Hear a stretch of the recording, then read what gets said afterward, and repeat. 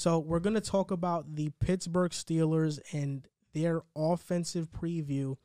They fired Randy Fichtner.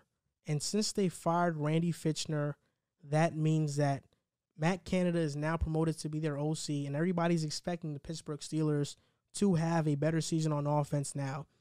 They're minus 14 in the cap space. They have 14 they're 14 million dollars under the cap space, so they don't have any right now. There are some roster cuts that can save them some money. Pouncey retired, which is what which which is what got them to negative minus 14, but Joe Haden cutting him would save 13 million dollars. I don't think they do that. I think they restructure his contract, but the biggest guy that you got to restructure is Big Ben. And I think they're going to restructure his contract. Big Ben wants to be a Steeler. He said that he wants to stay. Because of that, I think they restructure his deal. And I, I I'm predicting the Steelers will have about 10 to 20 million dollars in cap space. And these are their pending free agents. You got Bud Dupree, Avery Williamson, Alejandro Villanueva, Matt Feiler, Mike Hilton, Tyson Alualu, Juju, um, Cameron Sutton, James Conner, um, and Zach Banner. I think Bud Dupree goes, Avery Williamson goes, Villanueva goes, Feiler goes. I think Mike Hilton goes, Tyson Alualu stays, Juju goes, and Cameron Sutton stays, and James Conner goes, and Zach Banner stays. Yeah, they, they really shoehorn themselves with the cap here. And depending on what Big Ben's contract ends up looking like with the restructure, maybe they are able to keep one of those big name guys. But like the positions that those biggest biggest names are at, do they really need to keep a lot of those guys? But uh, obviously, it would be great to. You saw how good that defense looked. But Juju Smith Schuster, you look at their receiving corps beyond him, very deep. You look at Bud Dupree you know that that defensive front is stacked, and they could still potentially bring in J.J. Watt on a pay cut. So a lot of those big name guys, I don't really see necessary to keep, especially looking at the cap moving forward. Potentially bringing in a young quarterback, they're going to have to think about paying a young quarterback. If they bring in Sam Darnold, maybe a guy who's been rumored to them, he's going to have to get paid in the next two years. So who knows what his number is going to be. So I think you're going to have to start looking at some of the smaller name guys. The one that I would bring back is Tyson Alualu. Beyond that, I, I really don't know that anybody else stays just because of how bad their cap situation is.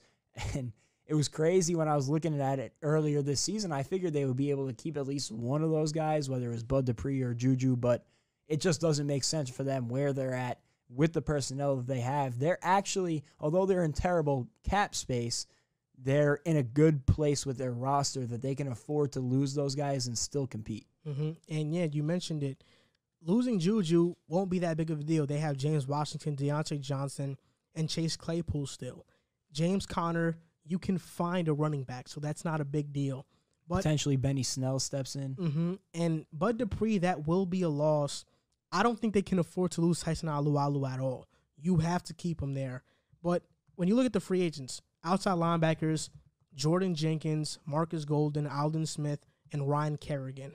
I Jordan Jenkins was led the led the Jets in sacks for a couple years. He's not bad, but I think that the Steelers signed Ryan Kerrigan to their roster to be another edge rusher there. I don't think they go J.J. Watt. When you look at centers, since Pouncey retired, they desperately need a center, and there's a lot of good guys here. Alex Mack, Corey Linsley, David Andrews, Ted Karras, and Austin Reiter. Because Corey Linsley is younger, he's going to look to get a big payday. David Andrews, the same thing. I think Alex Mack is a realistic option, and I think he will be with the Steelers next season. Then at inside linebacker, when you don't have cap space, you have to take you have to take chances on first round talent. A guy who's a first round talent who hasn't lived up to his first round hype has been Jarrad Davis an inside linebacker from Detroit. They need another inside linebacker to complement Devin Bush, and I think Jarrad Davis can do that. He still has all the talent in the world, and in a good system like Pittsburgh, he can be very productive. At tackle, if they lose Zach Banner, you can get a guy like Kelvin Beachum to fill in who won't cost that much. At running back, they can get Jamaal Williams. He's not going to get re signed from the Packers, and that would be, you know, a good guy to get. and in the draft with the 24th with their 24th overall pick, I would say draft I would say trade up and draft Trey Lance, but isn't that the reason that they got Dwayne Haskins? You know, to ultimately kind of be Big Ben's successor. I would love Trey Lance, but what are they going to give to try to move up? It's really up in the yeah. air. Then with the 24th pick, you know, I think you need to try to get a center. But since in my offseason, they addressed that with Alex Mack, I think you go with running back and get Najee Harris with the 24th overall pick and get yourself a solid running back to get a solid running game. Or they can go tackle and get Teven Jenkins. You can go either way here, but I just think that there's still a lot of good guys that can that they can get, especially veteran guys who want to win now. They can get on the cheaper side of things. Yeah, I, and I agree with you at the center position. I think Alex Mack is a reasonable option just because with their money situation, they're going to kind of have to go bargain shopping. I think that takes them out of the Corey Linsley talks, especially because there's going to be a couple teams looking at him that I think can pay him pretty big money. So I don't think he makes much sense for the Steelers, although it would be a good fit. They do definitely need help at the center with Pouncey retiring. Alex Mack would be the guy for me. Um, in a perfect world, you could bring in J.J. Watt but it just depends. Does he value playing with his brother that much over? Personally, I don't think the Steelers are a Super Bowl contender next year. Bringing back Big Ben, I thought he really started to leak oil down the stretch last year, and I don't see him improving. I see him getting worse from last season. So, with the losses, I don't see them being a Super Bowl contender. Plus, they can't give him the money. So, does J.J. Watt value playing with his brother that much? I think the draft is the most important thing for them uh, do you think personally? Do you think Dwayne Haskins is the successor for Big Ben, or do you think maybe not even if he is the guy? Do you think they try and make him the guy? Are they going to go with him moving forward? Based on what I've seen so far, his immaturity and his on-field play, I don't. But he has a lot of talent, and I haven't seen him play with Chase Claypool, Diontae Johnson, Eric Ebron, and James Washington, and a good offensive line with all that, can he be successful? Yes, I, I think he can be. With that much, with, it's very hard for somebody not to be with that much yeah. talent. Uh, the the only problem is I don't think I don't wouldn't even call it a problem, but I don't think they're going to be bad enough next year to get into a situation unless Big Ben gets hurt. Knock on wood. Hopefully he doesn't. I don't think they're going to be in a position to see what Haskins can look like on the field with those guys. So if there's a preseason, maybe you get a look at him, but in the draft, maybe a guy you could target. I wouldn't advise it. Mac Jones in the first round. I'm not. I don't like him at all. I don't think he's going to be a good NFL quarterback. But it's a guy they could get at 24. I I think he's going to end up at 20. Like I think he'll be there at 24. People have said he goes to the Patriots. Maybe he does. You could look at a guy like Trask, but I don't think that would be worth your while. Um, they could beef up the offensive line at 24 and go Samuel Cosmi. Uh, I think the second round they could find some good value, whether it's Asante Samuel at corner where they could use some help, or that linebacker position we were talking about, Dylan Moses out of Alabama. He had a great college football playoff, so a guy that could fill into that spot. But I think the draft will be important to them. Maybe later on in the draft they could look at a guy like Kellen Mond to come in and be the quarterback of the future. But the Whoa. quarter the, the quarterback situation is going to be the big question mark moving forward. I think it hurts them personally that Big Ben came back as much as you know you want to bring your guy back and he deserves uh, another chance with his squad. It, just doesn't make sense for them moving forward. So you're higher on Kellen Mond than Mac Jones. Personally, for the value, yes. Wow. I would rather take Kellen Mond in like the third or fourth round than Mac Jones with the 24th overall pick. I've seen Kellen Mond play Texas Texas A&M a lot. I don't think he's anything special. I don't, I don't think, think he's Jones anything I don't. Special. I don't think he. Kellen Mond to me, he won Senior Bowl MVP, but I think like that's not a big deal to me. A lot of guys who have not panned out in the NFL have won that award. Kellen Mond, after four years at A and M, I'm really not sure if he's a good or bad quarterback.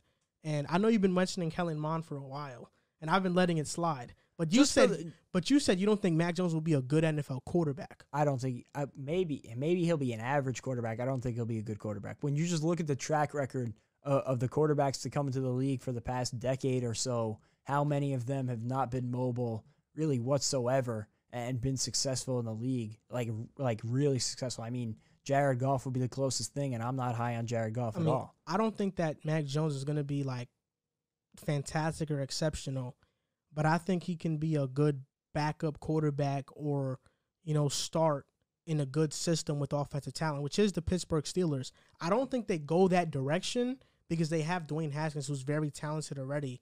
But like, I just don't think Kellen Mond is good.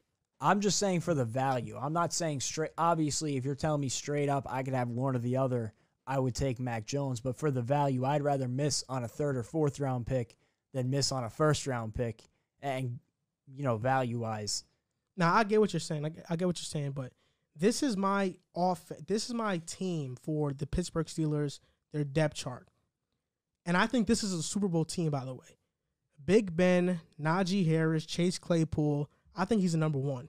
Diontae Johnson, James Washington, Eric Ebron, Kelvin Beachum, Kevin Dotson, Alex Mack, David DeCastro, and Okorafor, who played really well last season.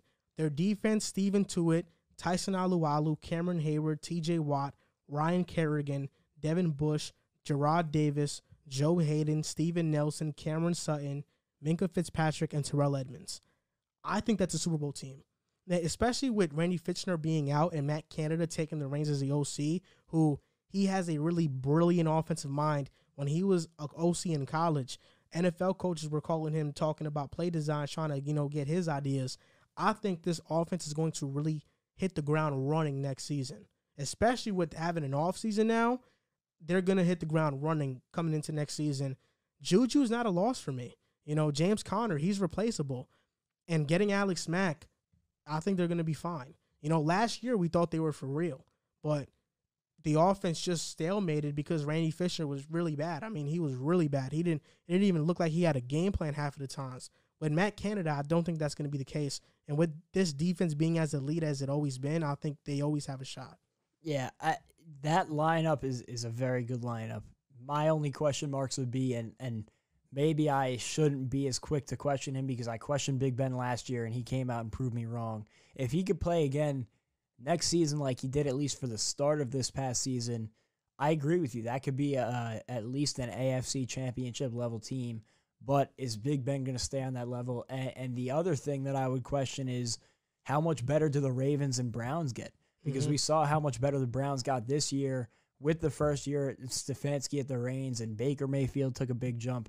They got some moves to make this offseason. And if the Ravens can just beef up that offensive line a little bit more, get a weapon in there, wide receiver, who knows what the ceiling is for them? We saw MVP Lamar Jackson. You got a wide receiver in here, in there. You know, maybe he gets back to that form. So it's a tough division. Big Ben's getting older, so those are the biggest question marks for me. It's funny because the Steelers, Ravens, and Browns, all to me, if they make the right moves, are Super Bowl contenders. And saying that about one division is pretty crazy, but I think it's true. You know, Steelers with their defense, Ravens, they just need a number one wide receiver. Browns need to get a better defense. If they can make those moves, I think they can all be really legit in the AFC.